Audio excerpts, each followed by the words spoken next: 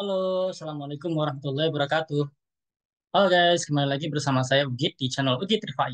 Kali ini kita akan membahas tentang cara menyampaikan opini dalam bahasa Inggris. Siapa yang di sini suka ngobrol dan berbagi pendapat? Nah, dalam bahasa Inggris ada banyak cara untuk menyampaikan opini kita loh. Di video ini nanti kita akan belajar beberapa frasa dan cara-cara mudah untuk mengungkapkan pendapat dalam bahasa Inggris.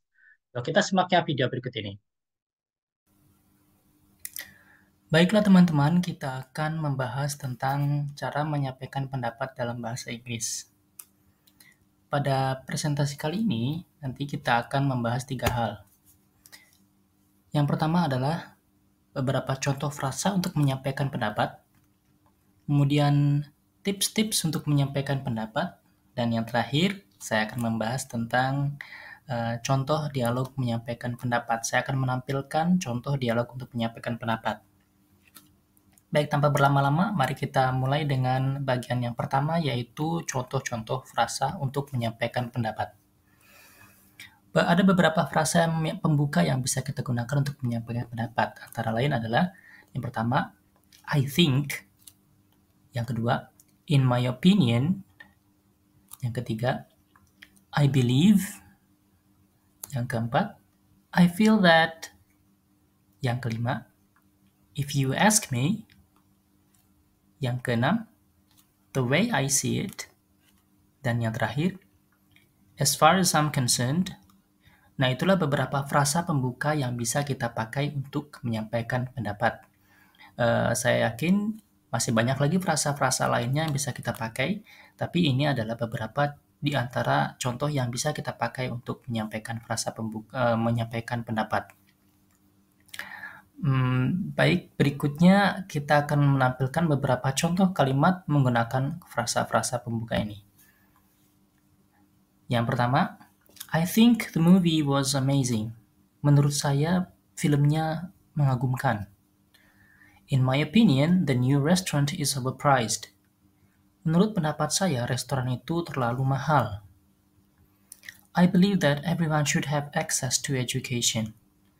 Saya yakin bahwa semua orang harus memiliki akses kepada pendidikan. I feel that the new law is unfair. Saya merasa bahwa hukum yang baru itu tidak adil. Nah, itu adalah di antara beberapa contoh kalimat yang kita bisa gunakan untuk menyampaikan pendapat menggunakan frasa-frasa pembuka yang sudah kita contohkan di awal. Nah, berikutnya kita akan membahas tentang tips menyampaikan pendapat.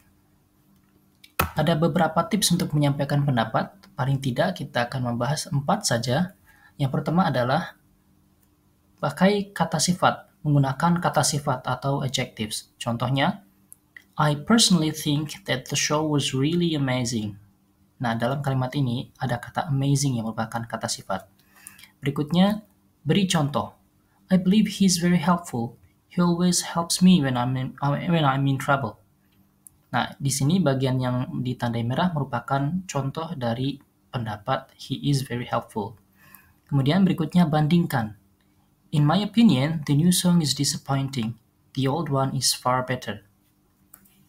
Kalimat bertanda merah merupakan perbandingan dari kalimat yang sebelumnya.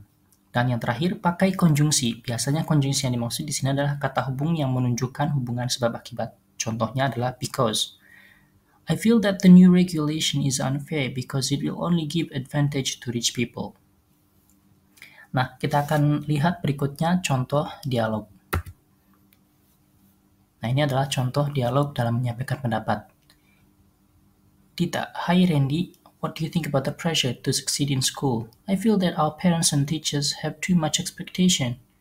Yeah, I totally agree. It's like we're running a race all the time and cannot really enjoy our teenage life. Exactly. I think it's important to find a balance between studies and hobbies. Itulah tadi video tentang cara menyampaikan pendapat dalam bahasa Inggris. Jangan lupa subscribe channel ini, like video ini, dan bagikan pada teman-teman mudah-mudahan bermanfaat. Sampai jumpa dengan saya di video-video saya berikutnya. Assalamualaikum warahmatullahi wabarakatuh.